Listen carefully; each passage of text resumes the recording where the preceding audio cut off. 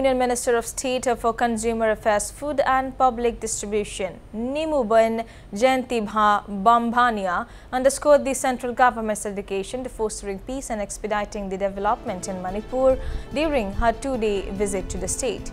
On the first day of her visit, MOS Bambhaniya addressed the media highlighting the government's proactive efforts to restore peace in Manipur swiftly. She emphasized the Prime Minister Narendra Modi's vision for the comprehensive development of northeastern states, including Manipur, and reaffirmed the central government's unwavering commitment to this objective.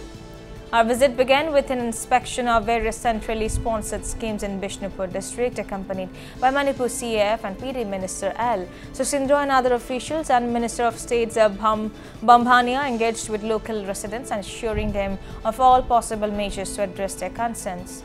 She expressed satisf- satisfaction with the progress of grassroots level developments and uh, initiatives and stressed the importance of effective implementation at the local level. During her visit, MOS Bambhaniya also chaired a review meeting at the Bishnupur District Commissioner's office.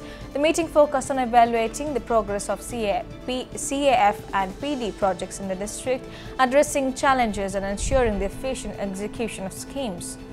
Additionally, MOS Bambhaniya visited key project sites including Amrit Sarovar, Ayushman Arogya Mandir and the Handloom cluster in Bishnupur district where she observed the implementation of Prime Minister Modi's flagship schemes.